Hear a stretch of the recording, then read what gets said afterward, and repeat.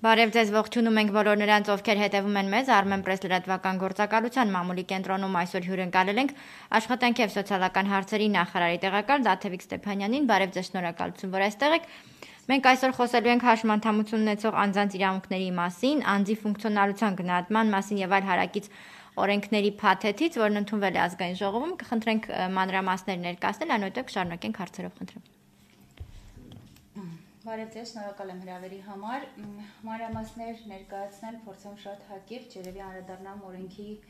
այն ժամանակ դեռևս օրինագծերի փաթեթի ամբողջ պատմությանը, հա։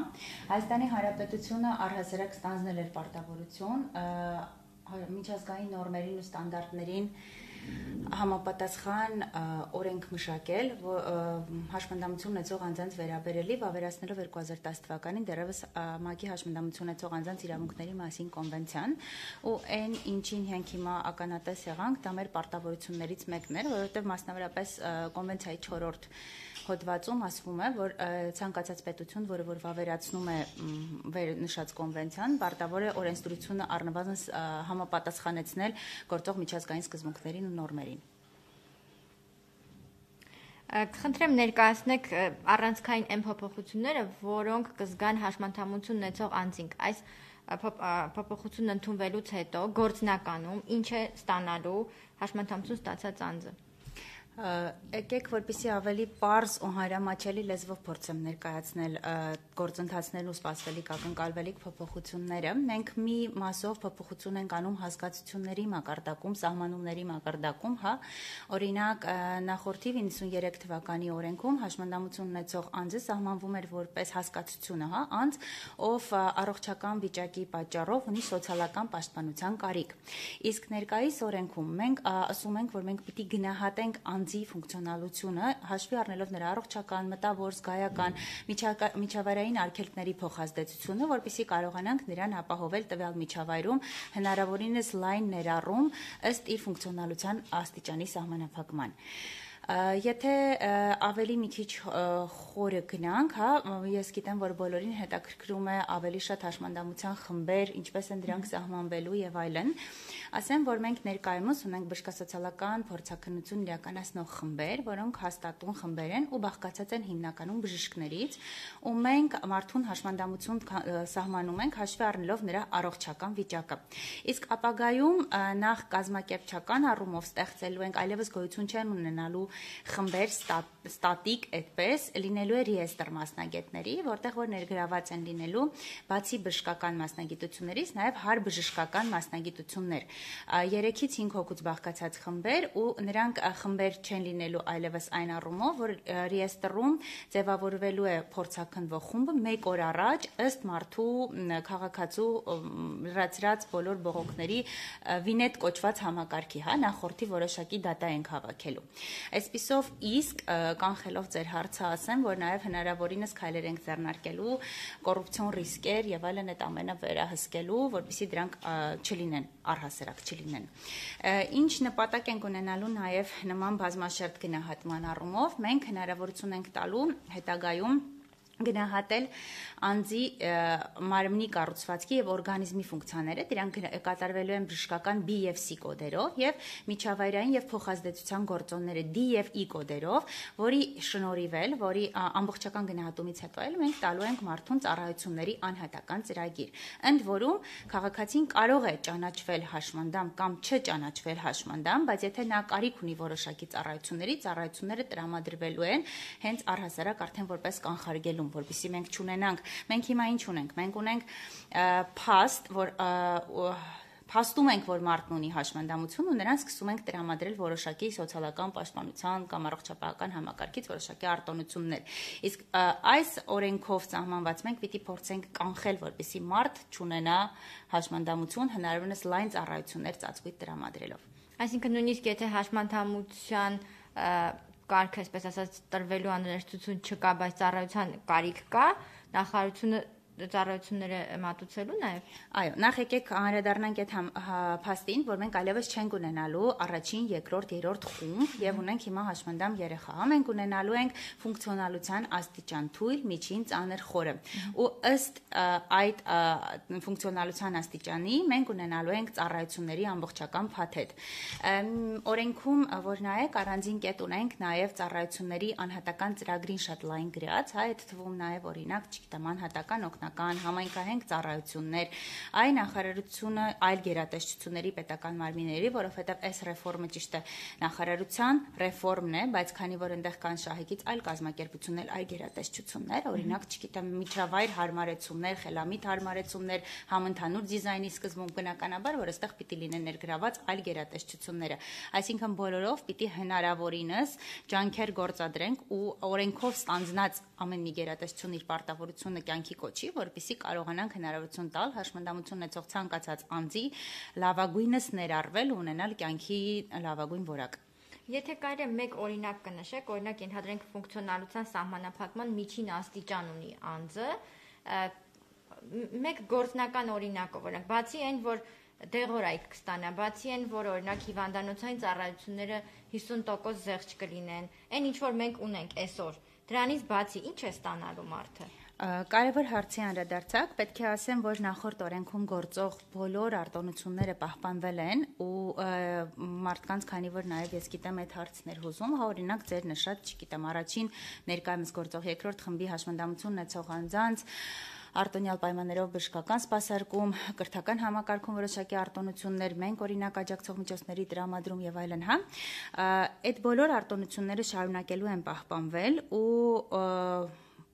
մարդիկ, ովքեր որ ունեն անժամկետ սահմանած հաշմանդամություն, իրենք փորձակնվելու են ելնելով իրենց ցանկությունից։ Այսինքն մենք նման կերպ ֆունկցիոնալության գնահատում իրականացնելու ենք օրենք ուժի մեջ է մտնում 21 թվականի սեպտեմբերին։ Մենք ունենք 1 տարի, որպեսզի իրավական ակտեր, իրավական դաշտը համապատասխանեցնեն, որտեղ գիտեք գործող ընթացակարգերը պիտի համապատասխանեցնեն նոր պահանջներին, ու դրանից հետո 22 թվականի սեպտեմբերից սկսած արդեն ցանկացած փորձակնվող, փորձակնման ենթակա անձ պիտի փորձակնվի նման կերպ։ Ձեր հարցին անդրադառնամ, ծառայությունների փաթեթն է հիմնականում լինելու են մեծագույն առաջարկը, որ պիտի լինի։ Ունենք սահմանած մաչելի միջավայր խելամիտ հարմարեցումներ, այսպես ինձ մի քիչ դժվար է անդրադառնալ, որտեղ ինքը շատ նեղ մասնագիտական արդեն բժշկական, հարբժշկական, մասնագիտական այդ գնահատումների հիման վրա պիտի կազմավորվի ծառայությունների փաթեթը։ Այնպես որ, բայց ամեն դեպքում բոլոր գործող արտոնությունները պահպանվելու են, գումարած դրան արդեն նոր արտոնություններ այ խոսեցիք անձնական օկնականի խելամիտ հարմարեցումների մասին, որ օրենքով սահմանվում է, չէ՞, ընդհանրապես։ Սա ինչ է ենթադրում, այսինքն այդ օկնականին, չգիտեմ, մենք ունենալու ենք ծառայություն, որ այդ օկնականին տրամադրվելու է, թե անձը ինքը ո՞նց է լինելու։ Բնականաբար մշակվելու են օրենքից հետո արդեն ենթաօրենսդրական ակտեր, ներքին հրամաններ եւ այլն եւ այլն։ Այս ամենի հիման վրա արդեն լինելու են չափորոշիչներ, օրինակ, որ չգիտեմ, ֆունկցիայի ծանր կամ խորը խանգարում ունեցող անձանց այսինչ պարագայում տրամադրվում է անձնական օգնական, անձնական օգնականի տրամադրման կարգը եւ այլն, դա այն հենց այն ասած 1 տարին է, որը որ մեզ անհրաժեշտ է, որովհետեւ մենք այդ ամենը մշակենք, չնայած ասեմ, որ քանի որ ռեֆորմը սկսած 12 թվականից իրականացվում է, մեծ մասամբ արդեն այդ իրավական ակտերը մշակված են։ Հիմա մենք կարիք ունենք ուղղակի դրա մշակելու ու լավագույնս ներկայացնելու։ Ուզում հասկանալ անձնական օգնական պետությունն է տրամադրելու սոցիալական որպես ծառայություն, այո, որպես ծառայություն ինքը, այո հասկանալի։ Իսկ հարմարեցումների հետ կապված, հա, ենթակառուցվածքների բարելավում, շենքերի շինությունների, հանրային հանրային կենտրոնների եւ այլն։ Մենք փաստացի այսօր էլ ունենք օրենսդրությամբ սահմանված, որ նոր կառուցվող շենքում պարտադիր են որպեսի հաշվի առնվեն հաշմանդամություն ունեցող անձանց հետ կապված պայմանները բայց գործնականում շատ դեպքերում կամ չեն գործում կամ գործում են ոչ լիարժեք այսինքն օրենքներով նախատ օրենքով նախատեսված չափանիշներին համապատասխան չեն։ Այստեղ ինչ անելիք ունենք։ Այստեղ անելիքը երկրորդ ընթերցման ժամանակ կառավարության կողմից առաջարկով փոփոխություն նաև եղավ, որի մասին կուզեմ բարձրաձայնել. 17-րդ հոդվածի 4-րդ կետ համալրեցինք հասարակական նշանակության շենք շինություններ եւ այլն այդտեղ տրանսպորտային համակարգեր, որ պարտավորվում են օրենքը ուժի մեջ մտնելուց հետո 3 տարվա ընթացքում ապահովել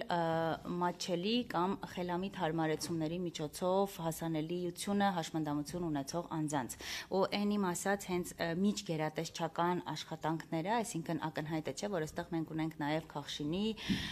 ներգրավվածության կարիքը ունենք տարածքային ենթակառուցվածքների եւ այլն բոլորի ներգրավվածությունը, որբիսի կարողանանք իրագործել։ Օրենքով սահմանելու ենք տուժ եւ տուգանքներ չվերացնելու դեպքում եւ 1 տարի անց կրկնելու դեպքում ել ավելի մեծ սահմանաչափով գումար։ Իսկ հիմա չկան տուրտուգանքի։ Հիմա չկան։ Ահա, սա նորություն է։ Իսկ այդ տույժ տուգանքի հետ կապված դա վերահսկող մարմինը պիտի բացահայտի, թե քաղաքացիներ կարող է բողոքել Բողոքարկման մենք ձևերը կգրենք, քանի որ կտեղեկացնենք բնականաբար, դրանք մշակվելիք փաստաթղթերի մեջ բոլորը տեղ կգտնեն։ Եթե կարելի է հաշմանդամություն ունեցող անձանց իրավունքների պաշտպանության մասին անդրադառնանք օրենքի,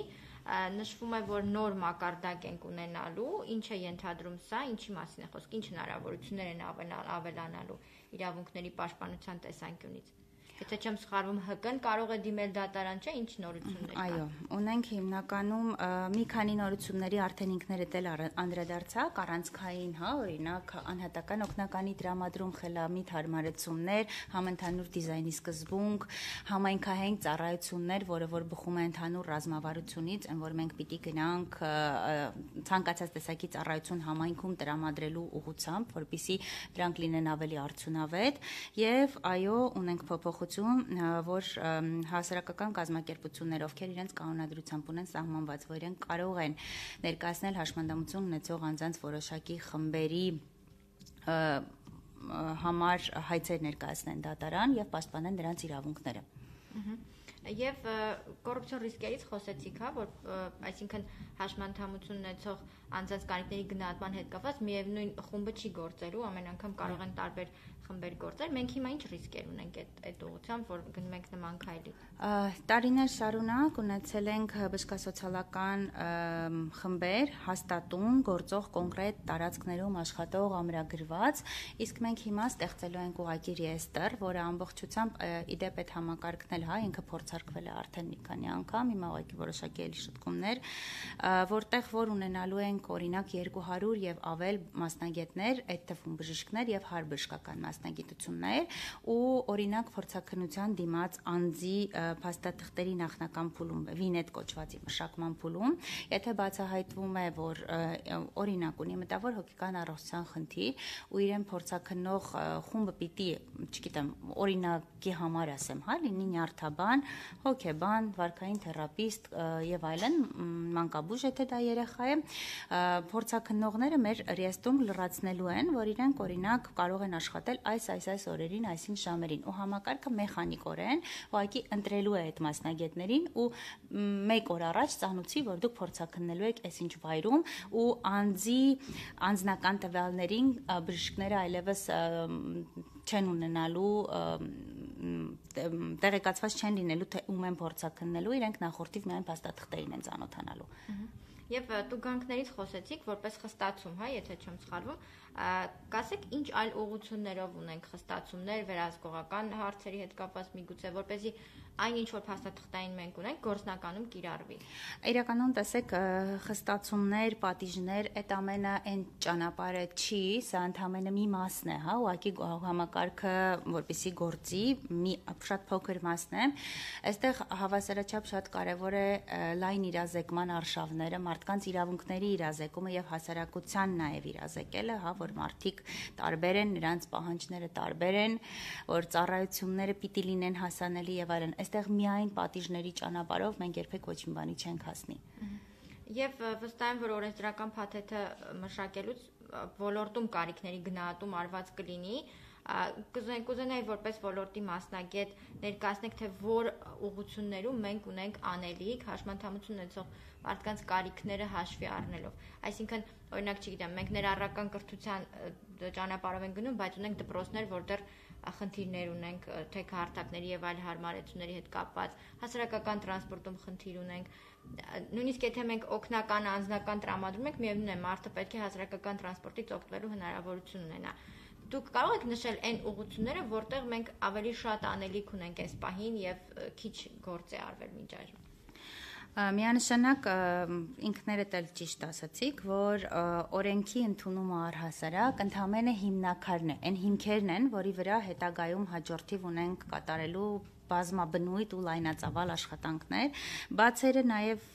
եւս մատնանշեցիք հիմնականում մաչելի միջավայր, մաչելի միջավայր ասելով իդեպ պիտի նկատի ունենանք ոչ միայն ֆիզիկական մաչելիությունը, հա, որովհետեւ ունենք նույն հաղորդակ հաղորդակցության մաչելիության հարցը եւ այլն, ունենք ծառայությունների կարիք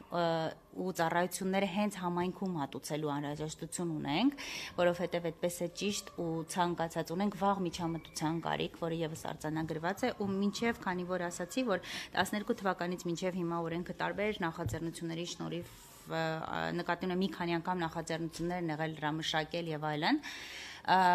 անցել է բավականին շատ փորձարկումների պիլոտների ճանապարհ, հա։ Նույն օրինակ մի խումբ երեխաների ծառայությունների ուսումնասիրություն, ծառայությունների մատրիցայի կազմում համադրում, աջակցող միջոցների դաշտի ուսումնասիրություն, թե ներկայումս պետական հավաստագրով տրամադրվող աջակցող միջոցները ինչքանով են կարողանում ծածկել պահանջարկը, ինչ մաս ունենք բաց, այսինքն բավականին լայն ուսումնասիրություններ արված են ու մենք ուղղակի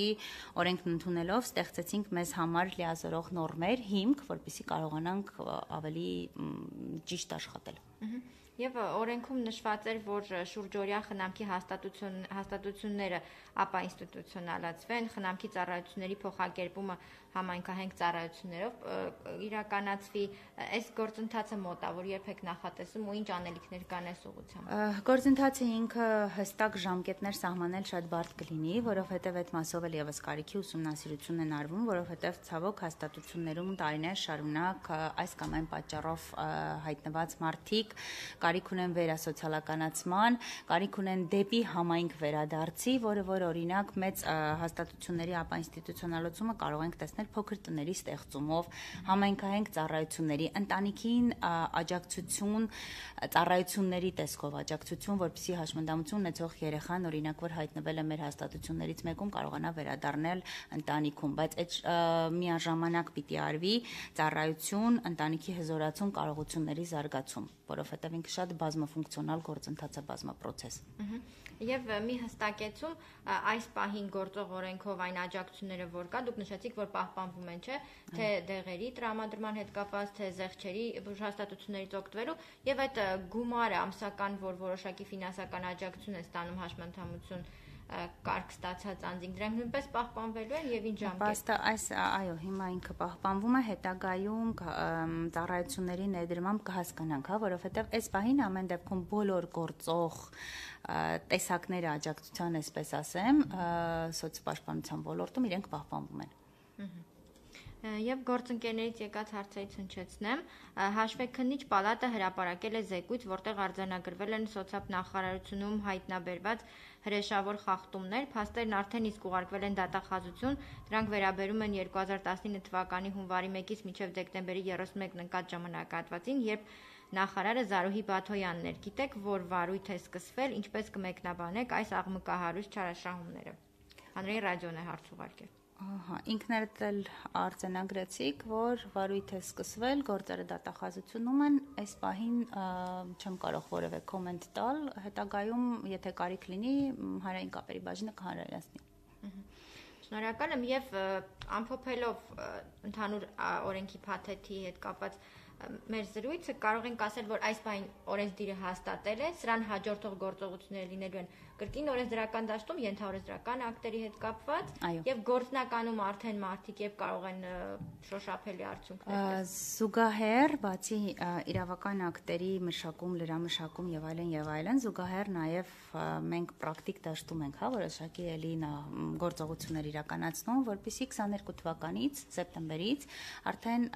ՖՄԴ գնահատում դատումով են սահմանվելու, հա, հաշմանդամություն կամ չի սահմանվելու հաշմանդամության համապատասխան խմբեր, չեն լինելու լինելու են աստիճաններ ֆունկցիոնալության 22 թվականից, բայց այս ժամանակահատվածում թե դաշտում գործող հասարակական կազմակերպությունների սեգմենտի ծառայություն մատուցողների հետ շատ ակտիվ աշխատանք են ակնկալում։ Մինչ 22 թվականի սեպտեմբերը դեռ հաշմանդամության կարգի ոնց գործում է դա մնալու է։ Այո։ Եղավ շնորհակալ եմ շատ։ Ձեզ էլ։ Ձեր գործերին հաջողություն։ Կարծում դեռ լավ արդյունքներով առիթ կունենանք հանդիպելու։ Վստահ եմ։ Շնորհակալություն։